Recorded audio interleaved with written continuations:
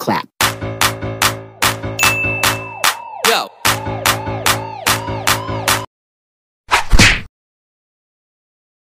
Welcome back to my YouTube channel, Heidi Medalia channel. So, for today's videos guys, eh, gusto ko lang naman mag-share sa journey ko ngayon na anong nangyari sa life ko ngayon. Hindi ko alam kung kakayanin ko ba or makakaya ko ba sa tinatahak kong bagong journey. So, bakit mo nga pa ito sinishare dito? Wala lang. Gusto ko lang mag-share. Gusto ko lang itong i-vlog para darating man yung panahon, at least uh, makikita ko yung yung ano man mo yun, yung makita ko kung anong reaction, kung ano yung kung anong year siya nangyari kasi hindi naman natin alam na makakalimutan natin sa in the end, di ba? So, yun. Gusto ko lang i-vlog. So, yun na nga. Alam kong alam nyo na to kasi nakikita nyo na sa baba sa description box ko, sa, type, sa subtitle ko, sa thumbnail ko. Alam nyo naman siguro kung alam ko na rin na kung anong pag-usapan natin ngayon. So, yun ang I'm getting mommy na. so, yun na nga. Magiging mommy na ako soon. Thank you Lord. So, mahirap man siya. Uh, hindi ko man to uh, hindi siya prepared, hindi ko siya na-prepared, hindi ko inaasahan na nangyari to. Hindi, syempre, hindi naman tayo maka, ataw, hindi, sa totoo lang guys, hindi talaga ako. Hindi ako ready, hindi, hindi siya prepared ang lahat, hindi ko akalain na mangyayari to. Pero syempre, happy na rin ako. Syempre, happy na rin ako na nangyari galing kay God na dumating siya. Magiging mami na tayo.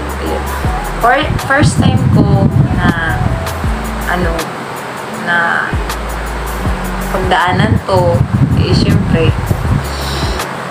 ganun talaga uh, kaya pa din naman kakayanin pa rin naman so ayun guys papakita ko lang to ipapakita ko lang mga ano yung yung mga reaction ng mga kasama ko na sila pa yung unang natuwa sa akin, sila pa yung tuwang-tuwa, sila pa yung sobrang saya sa nangyari. Hindi ko na mapapakita sa inyo yung PP na ginamit ko kasi nandun na nga sa baba. So, ayun na nga guys. Papakita ko, papakita ko tong small video na to. Ayan. Puno sini awas ba? Aw, ako ara good rider.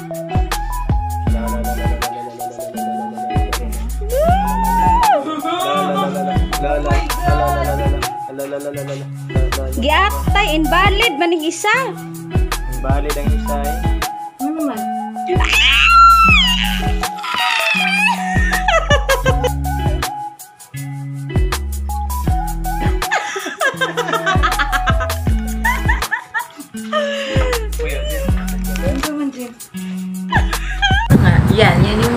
Mga reaction nila na lalo-lalo na yung best friend ko. Sobrang saya niya kasi gusto na rin niyang magka-baby. Pero syempre, hindi pa binigay ni God. Ah, tayo yung biniyayaan, tayo yung binigyan nito. Or tatanggapin natin kung anong kahinatnan. At tinanggap ko naman. At ito yung bagong journey na tatahakin ko bilang mother, bilang mami na, at syempre, doon na magtatapos yung buhay natin bilang isang dalaga, is- i- bilang isang sing, ano, yung wala kang inaalagaan, as in dalaga, dalaga ka kahit saan ka pumunta, wala kang iisipin. Pero ngayon, sa sa bagong journey na to, may isipin ka na, may alagaan ka na, may, may paglalaanan ka na ng oras mo, na yung darating na journey mo sa sa paglabas ni baby. Ganyan. Hindi na siya, I mean, ang laki na ng epekto niya. Pero masaya pa rin naman ako sa ano, sa mangyayari kasi hindi naman na tayo bumabata para mag-stay lang tayo sa sa ganitong sitwasyon na kailangan dalaga pa rin ako, eh, doon naman tayo darating. Pero, ayun, and happy pa rin ako kasi I'm getting mommy na talaga. Sana kakayanin ko to and nandyan naman si nandyan naman si daddy niya na handang suportahan ako sa ano sa sa darating na. And yun, pagbubuntis. so, ngayon guys, hindi ko mapakita kasi maliit pa naman yung chan ko. Nasa ano pa lang naman eh. ah, one month pa lang naman. So, parang wala pa din. One month, one month and one week pa lang. So, magto two weeks na siya. So, yun. Wala pa naman akong naramdaman ngayon. So, yung naramdaman ko lang yun, ngayon is, ano lang, kain lang ako ng kain. Parang lagi akong gutom. Hindi pa naman lihiyo.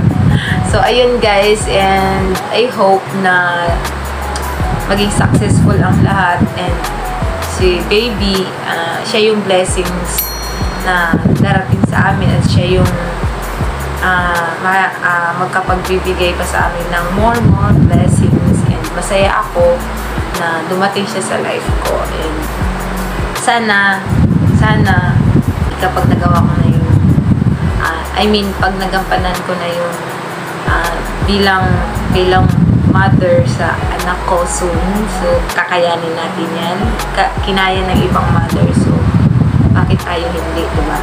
So, ayun guys, di ko, dito ko natatapusin tong vlog na to. And I hope na makapag-subscribe kayo sa YouTube channel ko. And see you in my next vlog guys kasi vlog ako kung paano, kung an ilang ilang months na siya, ah, kung anong pinaglilian ko, kung anong gusto ko, anong, kung ano yung mag-aayaw ko, anong mga gusto ko. So, ngayon guys, yung mga nararamdaman ko, ano lang naman, lagi akong pagod. Pagod ako lagi. Tapos, da- ma- madali lang ako mag-addict. Kasi, yung pag may bagay na gusto ko, tapos, parang may kumukontra, ganun. Nainis ako ka. Nainis ako ng ganun, ganun. So, ayun guys, and thank you for watching, and see you in my next vlog, and bye-bye!